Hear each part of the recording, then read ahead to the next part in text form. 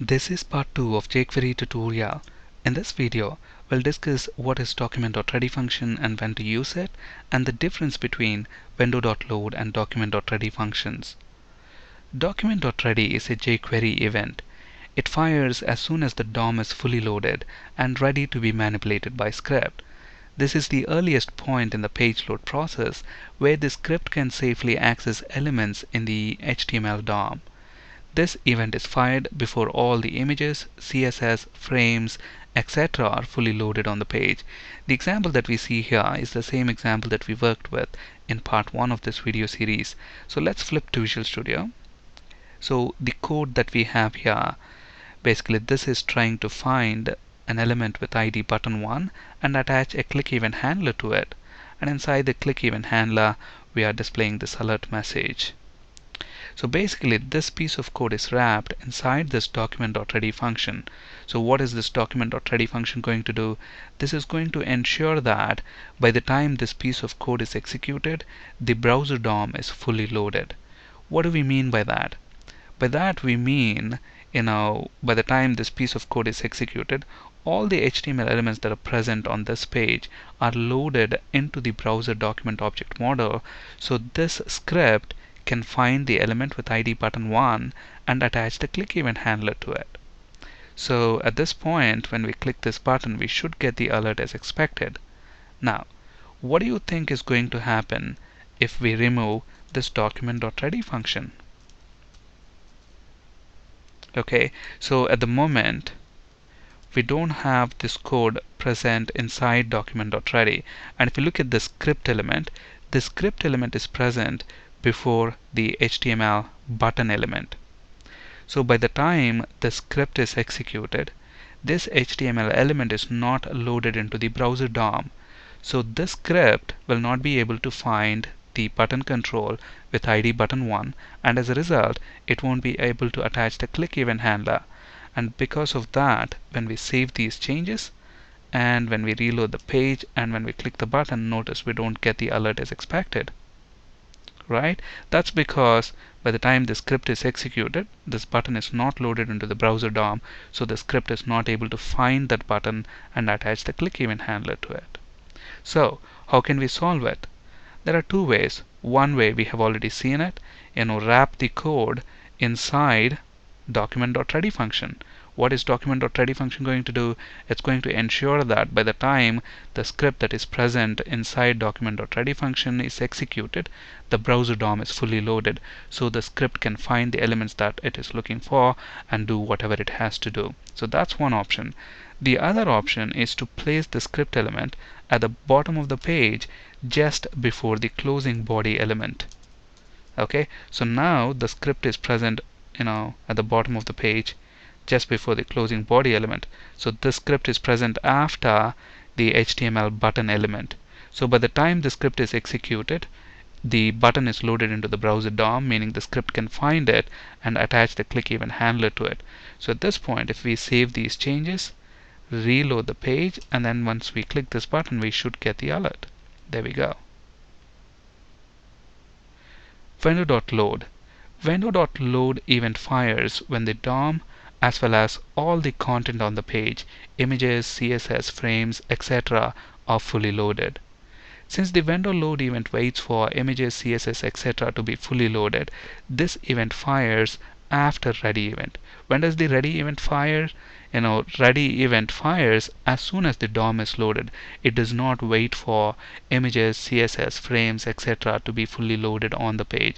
So, you know, ready event fires much before window.load event. Actually, let's prove that with an example. So let's get rid of this HTML button element. We don't need it anymore. So let's cut the script element and move it to the head section. And within the head section, dollar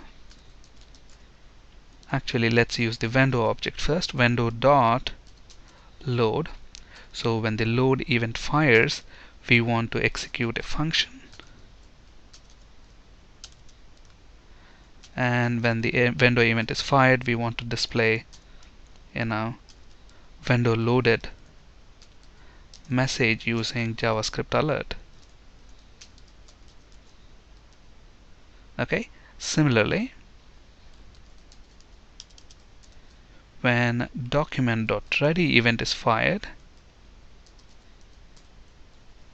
we want to display this message DOM loaded okay? Notice first we have window load and then we have docu document.ready okay? So that's the order. But then we know that ready event fires much before window.load window.load will wait for all the images css frames etc to be loaded whereas ready event uh, fires immediately after the browser DOM is loaded. So when we save these changes and when we refresh this page we expect DOM loaded message first and then window loaded In most cases, the script can be run as soon as the DOM hierarchy has been fully constructed, so ready is usually the best place to write your JavaScript code. However, in your application there could be scenarios where you should be using window.load over document.ready. And here is one such example. Let's say we want to get the actual image dimensions, that is height and width. Now if we have to get the actual image height and width, then we will have to wait until the image is fully loaded. So the jQuery code to get the height and width should be in window.load event handler. So let's look at an example of that. I already have an image here, so let's copy this image and paste it within our application. So let's drag and drop this image within the body section. And within our head section we're going to write the script to get the height and width. Uh, but let's also include a div element here to display our height and width. And let's give it an ID let's call it div1 and let's give an ID to the image. Let's call it img1 so within our script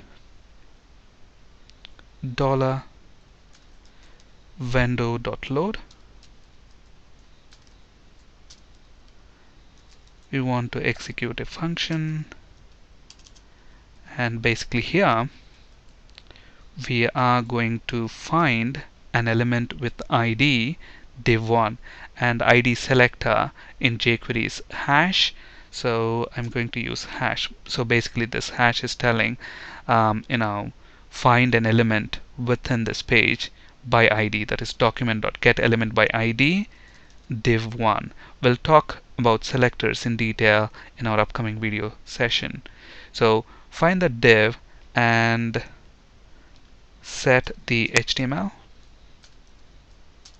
okay? So what do we want to display within the div? We want to display height. So height equals now we want to get the image height. So I'm going to use the ID selector again which is the hash symbol.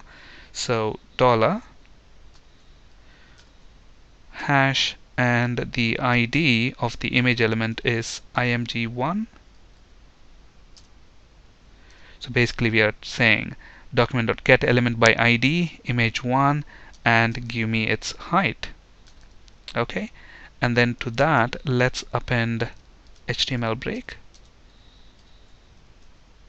and then we want height uh, width so width equals the same thing. Find an element with image1 ID and then get its width. And to get the width, we use width function. Right? So with all these changes, let's reload the page. And look at this. As soon as the image is loaded, we get the height and width of the image. Those are the actual dimensions.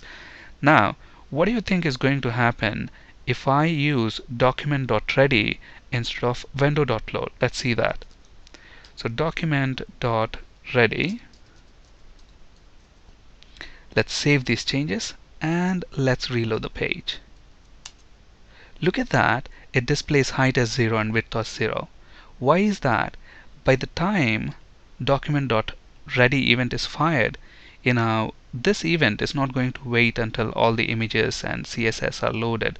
Okay, so by the time this piece of code is executed, the image is not loaded within this image element. So that's why it reads the height and width as zero. Okay, but whereas if we change that back to window.load so this event is fired after all the images are loaded. So it's able to get the actual height and width. So now when we save this we should get the actual height and width. Thank you for listening and have a great day.